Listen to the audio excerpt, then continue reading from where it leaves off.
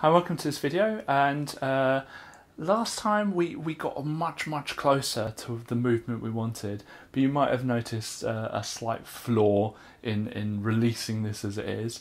And so today's video, we're just going to mop it up and the movement worked perfectly, but we, we kind of wanted to stop um, in each grid because what we're doing is we're creating a grid based RPG that the player is either in a, a grid um, like cell or um, square um, or it's just moving between them, but they, they can't stop between them. So we're just going to tidy that up today. So let's go over the screen. Okay, so in the last video, um, what we did was we managed to have it so that you can move right, up, left and down. A nice little movement there. Um, so I'm going to click into that and I'm going to go to the event editor. And um, the way we achieved that was uh, as soon as you click on a button, it just does it infinitely. And that's a real problem because if I click right and then let go, I kind of want to stop eventually rather than just continually going. Um, there's some games that actually like Snake and stuff like that. Actually, this is fine. This works for Snake, um, but it doesn't work for our RPG where we actually want to maybe stop and you know just figure things out. Um, so we want to create some way of doing this now. Um, it's a bit of a caveat because I know exactly the way I'm going to do this later on, but um, that um, requires me talking much more about the uh, um, the uh, grid system and, and all of that. And I don't really want to go into that um, at this moment because that's going to be, you know, um, maybe next video in the next uh, few series of videos that we start talking about that. So I'm going to code something now which uh, I know I will, pro- well, almost certainly change down the line for a myriad of reasons. However, um, remember what we said that we're looking for the minimum viable product. We're looking at shipping this uh, thing uh, without having to add extra complexity to it, uh, and then we'll we'll do that down the line. Um, so what I want to do is I want to work out where the player needs to stop when the right, left, up, or down arrow um, is clicked. So if I go into the frame editor, and I could do this in the event editor, I don't know why I just keep doing this. Um, so if I create an alterable value, so a new one, and I'm going to call this destination. My spelling's appalling, by the way. I rely on spell check way too much, which ClickTeam does, does not have. So if I misspell anything, uh, then you can forgive me now. Go back into Event Editor. Now, what I want to do um, is when I click the right arrow, not only the direction, I want to work out where the player needs to stop. So I need to work out where they are currently um, and add on the amount I want to add on.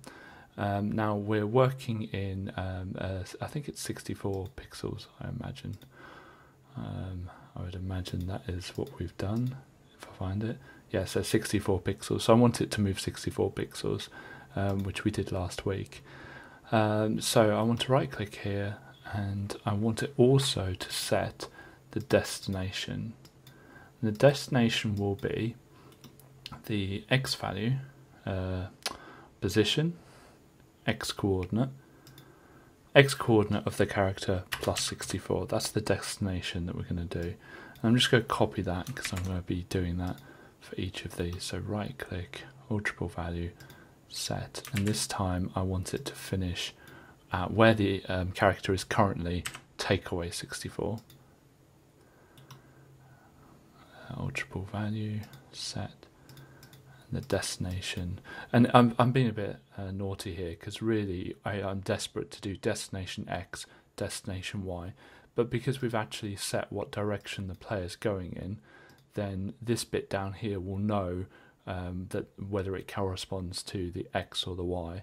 Um, so I'm kind of going a bit rogue, and this time it's going to be white, and you can absolutely change it in here. You don't need to keep clicking down here to get the position.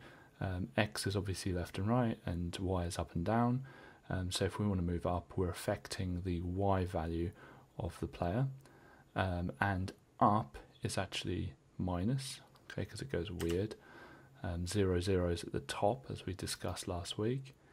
And um, alterable value set destination. And this time it's going to be adding 64 because down is going uh, is is adding to the y. Really weird. Okay. And so that should work. That looks good. Um, that won't actually do anything. Remember what I said, alterable values, they do nothing uh, for the player. You can actually see them if I run it now. And I go to add object, I think. Go to active objects and click active. You can delve into the, uh, oh, that's global, wrong one. Right, alterable values. You can delve into it so you can see the destination there. So if I click on this and I go right, it's 128, up 64, down 69, and left, goodness knows what. I think it's destroyed it because it's gone off the screen. Um, okay, so now I want this to know about that, and I only want the right to continue as long as it is less than the destination. So uh, insert, and what I'm going to do is I'm com- compare the position of this. So I'm going to test the x position because we're going left to right, so I only have to care about the x position. And I'm going to, because it's going right, I want it less than, so lower than the um, alterable value retrieve destination. Okay, so it's only going to fire if the x position of the player object is less than the destination. The destination set up here, it's saying, oh, I want to add 64 on to the current x position of the player.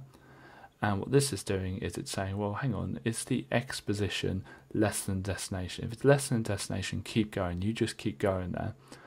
If it's equal to or more than the destination, then it, we want it to stop. Okay, so if I run that now and click right, there we are, and it stopped. If I click right again, it stopped again click right again, it stopped again. It works perfectly, and I can see absolutely nothing wrong with that. Okay, I'm obviously joking. What's happening here is that um, ClickTeam's not precise, no computer program is precise. Um, and I'll tell you why it's not precise. It's because each time we're adding three pixels, remember we're adding three pixels on, and if it doesn't quite line up perfectly, um, then uh, it just it so what it does is it gets one away from the destination and it's very very close to hitting it. But then it's going to add three more pixels on. So it's going to go over the destination and then it will stop. It'll say oh no actually it's less it's less than the destination so I, i've been good. I've done the right thing. But it's two pixels more because it was one away then it went an extra three which makes it two uh, it, it's gone uh, past the mark by two now, if you're a, if you're a follower of Formula One, if you go past your mark, um, things go bad, and in programming things go bad. And you might think, well, hang on, this isn't a workable approach, right? We have to start again completely. No, not at all. What we do then is we just cheat, and what we say is actually we we want to make sure that the player's at their destination. So I'm going to get the alterable value destination. I'm just going to say, oh, can you just make sure that they're actually at their destination, please? Thank you, that'd be great. okay, and so if I run it now and I go right, and you see there's a big problem here. And the reason is because I'm a numpty and I've done that each time. Um, what I want to do is I want to copy this and I want to say if it's actually greater or equal to um, the diff uh, the if you if you've got one condition of lower then you if you want the other condition you say greater or equal to.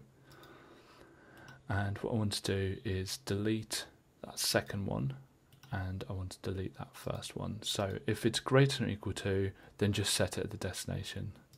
And I'd love to say that I, that was a learning point there, but no, I just made a mistake. Let's have a look. Let's see if it works. Right, perfect, perfect, perfect, perfect, and just keeps being perfect. So what it's doing is it's cheating it's moving, it's overshooting its mark, but then the program goes, oh, hang on, no, your mark was here, and it just jumps it to there. But because we're talking about two pixels maximum, um, you, you're never going to pick up that up as, as, a player. Now, it might have some um, issues with collision detection if we use ClickTeam's built-in collision detection, because technically that player, so when I click right here, technically that player is colliding with this square and then moving back. So we've just got to be aware of that. Um, but since I'm not using um, ClickTeam's uh, collision detection, um, then then it's not such an issue. Um, so I've got to remember what I'm doing here. Um, so what I want to do is I want to include that in here, but this time um, it's greater than, because if we're going left it will be greater than, and we're just basically doing the opposite really. And lower or equal. And what do we do here? Plus frames move, which is fine. X position of destination. We just copy that, that's fine. And just get rid of that one and paste that one in. So Control and V to paste uh, on a Windows uh, computer. Uh, is there anything else that we? we haven't got anything else. Okay, so when I do up, and this is where you've got to really think to yourself. So it's uh, oh, I'm not comparing the x position. And some things you can't change. Some things you've just got to um, write again, or you've got to just click on the things. So we're looking at the position and we're comparing the y position. And I'll just click nothing first, and I'll just copy this one. Um, so is it lower than or equal? So if it's going down, we're looking at to, to be lower than, so just lower. Copy that, so Control C, Control V. Then we want the opposite, which is greater or equal to. And we want it to set the um, yeah, that's good. Okay, and set the Y position to be destination on that. Um, what are we doing? I think I've done it to the wrong one, haven't I? Been a numpty. Been a numpty. Right, Y position. Okay. This is where it gets really complicated. I make it complicated. Okay, so it's going to be greater than. And this is where mistakes are made. And lower than or equal to. No it's not greater than. Yeah it's lower than on the previous one. Oh right. So I'm going to get rid of that and I want to set the Y position. So position set Y position to blah. Set Y position to the alterable value of destination. Okay, and then let's copy that into down. It's going down, no, what's right? If it's going up, that means we're looking at the less than, yeah, that's fine. If it's going down, we're looking it be greater than, so lower than, okay. That makes sense, so I've just got these the wrong way around. Should be, if it's going up, then we're looking for it to be lower than, yeah, that's fine. If it's going down, we're looking for it to be greater than. Uh, other way around. Other way around. And this is always the fun, is trying to work this out logically.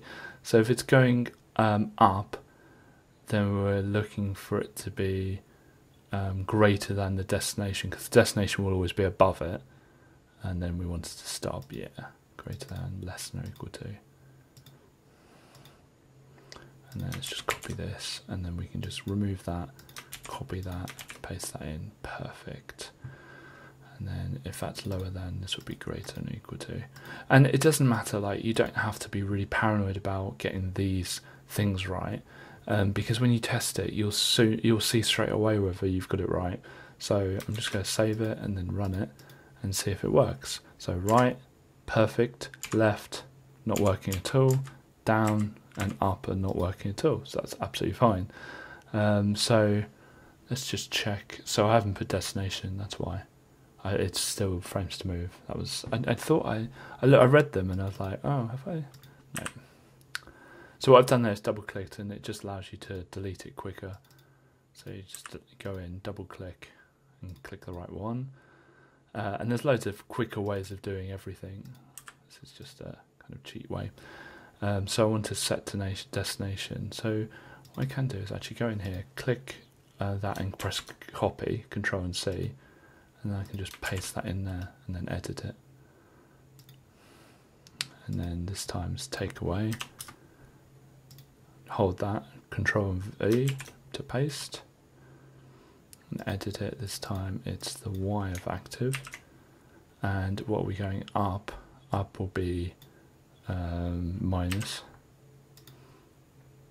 and just click that, Control V and paste it in, edit, and then still it's Y, and uh, down is going up, oddly enough. okay, let's test it now. And always, when, when I, every time I run this, it never does what I want to do the first time, and that's the beauty of running it. And I wanted to make sure I include those in these videos so you can see how I know. So it's still, so left isn't working, but up's working and down's working. So the only thing that's not working is left. I can kind of guess why, because I think I've written it three times. Yeah, I have. So that one, yeah, I don't know what the heck's happening with this. I think I thought that that was up and I just got muddled. Um, so if it's going left, we want to, to continue until it's lower than the destination. And we want it to stop if it's greater than or equal to. Um, we want to, no, it's, no. so if it's traveling, so destination will be on the left and it's here and then we're looking for it to be greater than yeah. And then lower than or equal to. And you just keep going until you get the right thing. So that's so up uh, up right down and hopefully left perfect. And that looks pretty good. And you can imagine like instead of the horrible player icon there um, you can imagine someone moving down and left and up and we might want it to travel quicker uh, and we might want to make changes later on and that's absolutely fine. We can absolutely do that. With this kind of simple coding we've only got to change um, two values this one here and then the value that is the alterable value um, for the player icon. And that we only need to change those two things and we can instantly uh, change any of this. Um, so we don't need to recode and redo the whole thing.